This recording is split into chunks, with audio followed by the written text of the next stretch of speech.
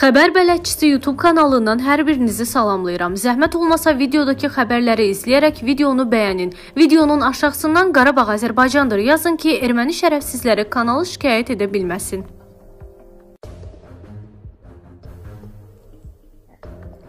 Ermənilərin təxribatlarının artmasında gözlənilməyən bir şey yoxdur. Əgər biz ümumiyyətlə Ermənistanla münaqişə başlayandan və onların işğalçılıq siyasətindən bu günə kimi nəzərə salsaq, görərik ki, ermənilər dəsti xətti eynidir heç nə dəyişməyib, hələ dəyişə də bilməyəcək kimi görünür.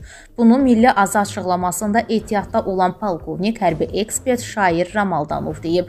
O bildirib ki, Ermənistan müəyyən təzyiq altında sülh müqaviləsinə qol çəkməmək üçün belə bir gərginlik yaradır. Sülh sazişinin imzalanmasına doğru gedildiyi bir vaxtda bunu istəməyən, istər Ermənistan daxili, istərsə də xarici revanşist qüvvələr, diasporalar, bəzi iri dövlətlər Azərbaycanın zəfərini həzm etmək istəmirlər. Təbii ki, bu da sərhəddə təxribatların çoxalmasına gətirib çıxartdı.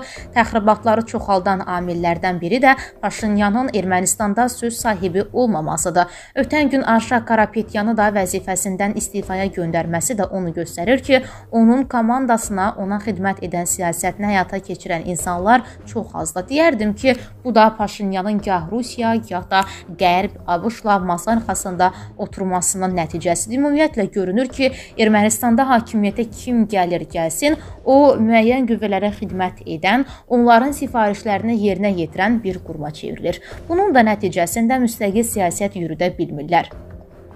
Paşinyan hakimiyyətə gəldikdən sonra keçmiş Qarabağ klanının gücünü zəiflətməyə, kapitallarını azaltmağa çalışsa da, son proseslərdən belə aydın olur ki, onların hələ də gücləri var. Hazırda onların əlində təxribatlar törətmək, terrorçuluq, atəşkəsi pozmaq üçün geniş imkanları var. Hazırda ermənilər çalışırlar ki, Azərbaycanın ərazisində postlar qursunlar, yüksəklikləri ələ keçirsinlər, ancaq Azərbaycan ordusu öz işini görür. Azərbaycan ərazisində müvəqqəti yerləşən sülhməramlı qüvvələr yaxşı pis xidmətlərini davam etdirir. Bəs Azərbaycan sərhədləri daxilində Şuşa ətrafında niyə ermənilər bu cür təxribatlar törədirlər? Ona görə ki, hələ indiyə kimi də qanunsuz silahlı qüvvələrin olduğu, hələ ki Azərbaycan qanunlarında müvəqqəti olaraq işləmədiyi ərazidə nəzarəti Rusiya sülhməramlı qüvvələr aparır. Bu nəzarətin bir mexanizmi də ondan ibarətdir ki, qanunsuz silahlı birləşmələr tərk silah edilməlidir. Necə olur Suriya IŞİD-ə qarşı çıxırlar, deyirlər IŞİD qanunsuz silahlı birləşmədir, terrorçudular. Orda silahları tərk silah edirlər, zərərsizləşdirirlər, amma Azərbaycan ərazisində sülhməramlar yanlarında gəzən silahlı erməniləri tərk silah etmirlər. Hansı qanun əsasında onlar hələ də həmin ərazidə qalıblar? Hələ də silahlı ermənilərin təxribatlar törətmək üçün imkanları var. Hələ ki ermənilər qumbara və digər silahlarla, hətta Rusiyanın cavabdehliyi daşıdığı Laçın dəhlizindən keçərək sərbəst hərəkət edirlər. O zaman sual ortaya çıxır.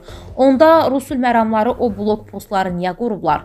Əgər oradan silahlı şəxslər keçə bilirlərsə, Rusiya sülh məramlı qüvvələri orada kimi, nəyi yoxlayır? Belə çıxır ki, Azərbaycan tərəfini yoxlamaq üçün orada mövqe tutublar. Ermənilər artıq sərhəd boyu artilleriyadan mövqelərimizi almağa başlayıb.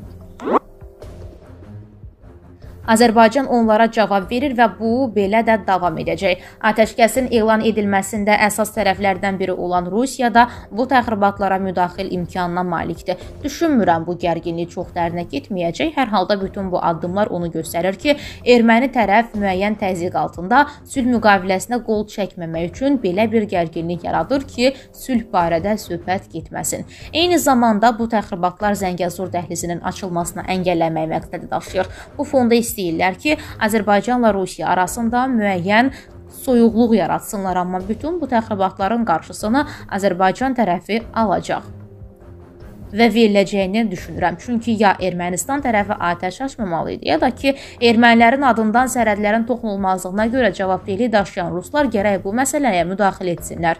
Yenidən atəşkəs və